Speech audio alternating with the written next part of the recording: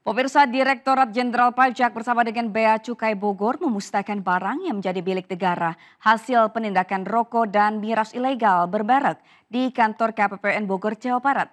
Barang ilegal ini berasal dari 320 hasil kegiatan penindakan Bea Cukai Bogor dan stakeholders terkait hingga 25 September 2024 dengan kerugian negara ditaksir sebesar 6,318 miliar rupiah.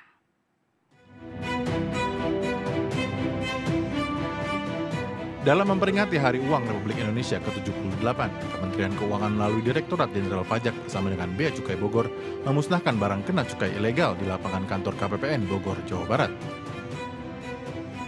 Sebanyak 4,3 juta batang rokok bermerek, 394 ribu gram tembakau iris, dan 865 liter minuman alkohol ilegal dimusnahkan karena melanggar peraturan terkait barang kena cukai.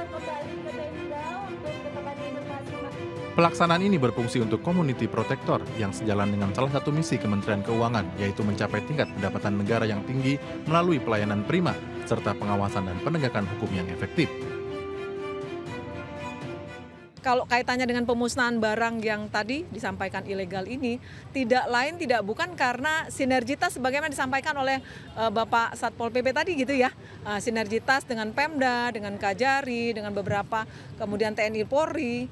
Nah, inilah wujud kepedulian kita kepada uh, apa namanya barang-barang yang ilegal tadi supaya tadi message-nya jelas bahwa jangan digunakan. Kita perkuat lagi sinergi dengan pemerintah daerah, dengan aparat TNI Polri untuk hasilnya supaya lebih maksimal lagi. Karena apa? Karena memang tentunya dengan kolaborasi tadi kita akan jadi lebih kuat gitu ya.